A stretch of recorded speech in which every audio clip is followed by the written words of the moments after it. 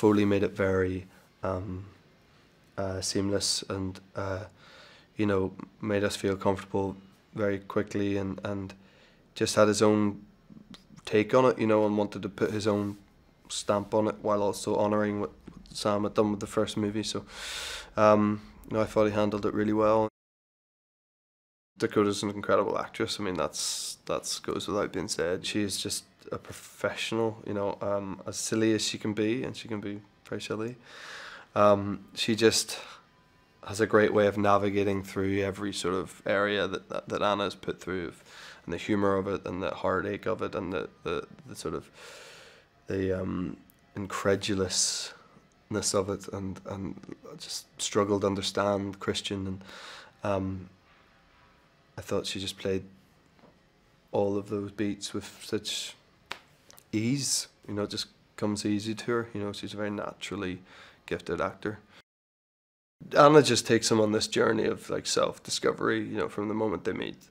And he's got so much to learn about being normal and responding in a rational manner to daily events and to relationships and to other people and dealing with jealousy and everything. So he's never really the perfect perfect package, you know, and he's always always uh, needing work.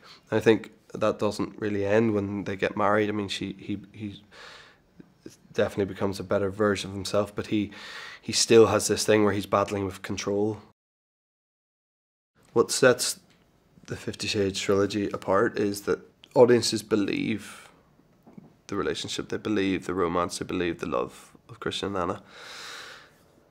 There's thousands of books that are BDSM related love stories, and um, none of them have come near to having the impact that, that, that Erika's books have had.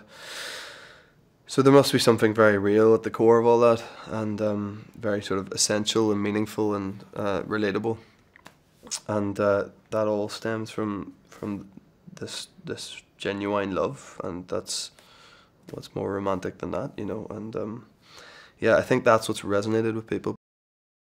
Me personally, I see it from Christian's point of view in terms of um, the love that Anna's had for him, and the, the the truthfulness of their relationship has freed him from the everything that's very laid out that we see of his um, you know his broken self and, and learning to free yourself up and accept who you are and, and the things you've done wrong and, and to and to adapt and change and be a better better person by the end of it.